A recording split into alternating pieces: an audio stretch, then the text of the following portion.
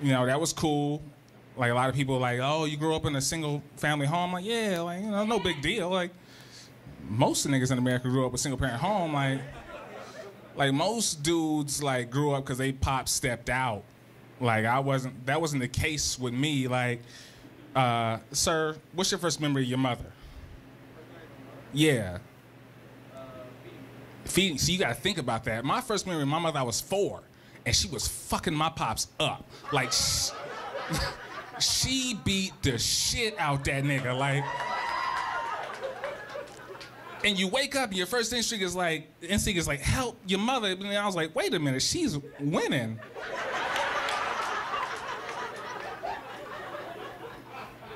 and as a little boy you you grow up you're supposed to grow up thinking can't nobody whoop your pops I grew up knowing somebody could whoop my pops like I hung out with that nigga like three months ago. Like he was never around growing up. Like I met him as like an adult. Like nigga, where you been? And he he still to this day cannot speak my mother's name. He didn't even make eye contact. He's like, How, how's she doing?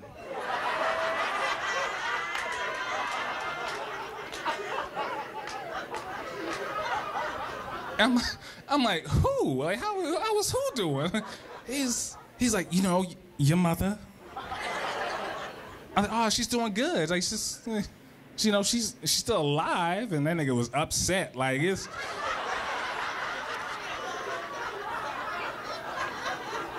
And I understand why he wasn't around, because if anybody in here's ever got their ass whooped, like, you don't want to be in the same room with that person, let alone, like, raise a child. Like, I can just imagine, like, if my pops told me anything, I'm like, nigga, like, I ain't listening to you. Like, I'm gonna go get moms. Like, she.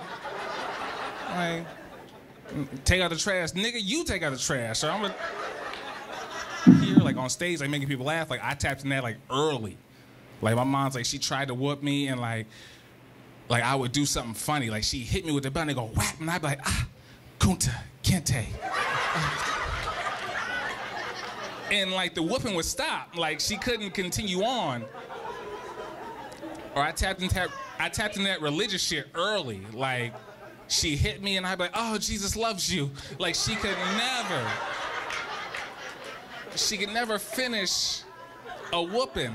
Like she couldn't. Like, like I'm not, I'm not, I'm not ready for kids. Like I stay, I stay at Walgreens with the plan B. Like plan B is my plan A. Like I'm so bad at pulling out. Like I refuse to pull out. Like I refuse to do it.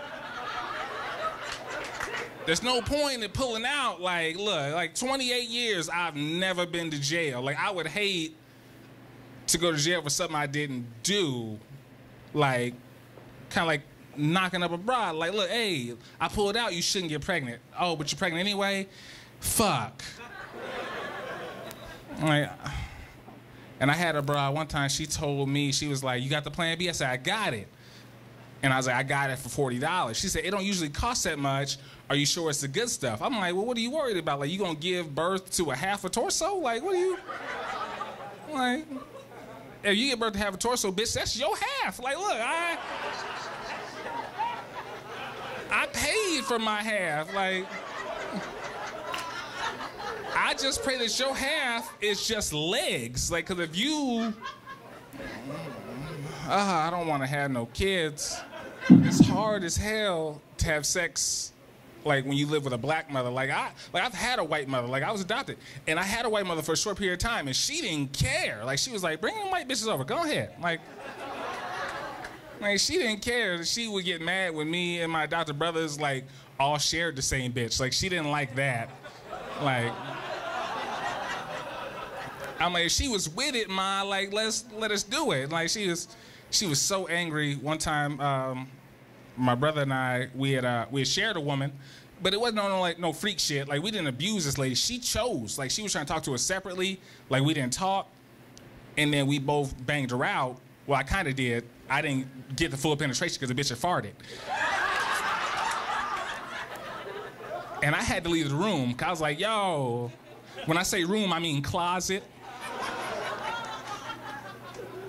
And we had got like, like black mothers whoop your ass, like white mothers cry. And we got home from dropping the broad off, and this she was like, I can't believe you two gang bang a retard in the closet.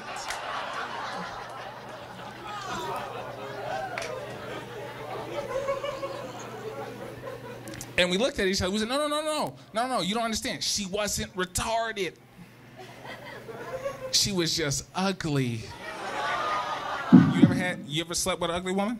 Not, never? No, for, okay, wrong guy. Wrong guy. Uh, I need to see a show of you, your woman pointing at you. Um, have you ever had sex with an ugly woman? Never? I'm not talking about currently, I'm talking about like in the past.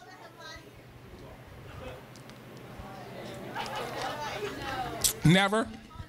It's fine, we'll get back to that later.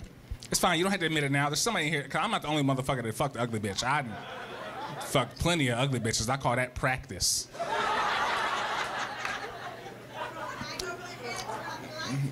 You don't need a bag and the lights. Nobody that ugly. Like, goddamn. You're rude. How many fellas tried to pineapple juice shit? Make some noise, fellas. Don't raise your hands. Make some goddamn noise. You tried the pineapple juice. The only thing with the pineapple juice is I don't know how long that takes to actually hit the balls. We not gonna test it. I'm not gonna sit at home and jack off, be like, we ready. That girl gave me head one time. It was terrible. But um, thank God I didn't catch nothing from her. Uh, Cause a lot of women out here in Vegas is um, what's the word? Uh, promiscuous? Is that the word? I don't know if I said it right. Who? Yeah, them hoes. Yeah, they get down, you know, and everybody always worried about catching something. They always telling you get tested. You watch BET late at night talking about get tested. Say they wrap it up. They say they say one in five niggas got AIDS. That's why I only roll out with three niggas when I go out. I'm like, look. I bet hey Rob gotta stay at home tonight. Like I ain't I ain't trying to catch that AIDS. But you fuck around and like you like you catch like chlamydia or gonorrhea, like that's that's nothing. Like you get rid of that in three to five business days. It's nothing. nothing. But you know, people always like, ah, oh, you know, what happens in Vegas stays in Vegas, you know, except for herpes. Ho ho ho. I'm like, look. I'm like, herpes is scarier than a motherfucker. I was like, but yeah, also there's AIDS. But you know, if you uh, you catch AIDS, like I'd be like, ooh, like I don't if a bitch picked me up in a club and she was like, look, let's have sex, but I got AIDS, I'm like, I don't know. Let me have a couple more drinks. Because when you're, as a man, when your dick is hard, you don't fear nothing. You don't fear nothing. My husband coming home in five minutes. That's cool. I only need two. Like, you don't fear nothing. You know, somebody asked me one time, like, hey, would you rather have AIDS or herpes? And I was like, I take AIDS. And he was like, What? I was like, Nigga, you could hide AIDS. oh, come on. Anybody in this motherfucker ever seen AIDS?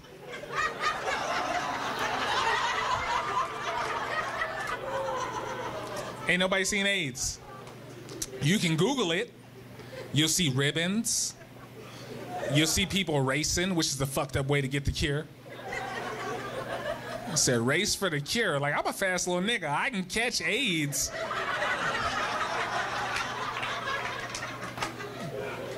And be cool by Wednesday. They be like, nigga, you had AIDS, yeah, but I won the race, nigga, I'm good.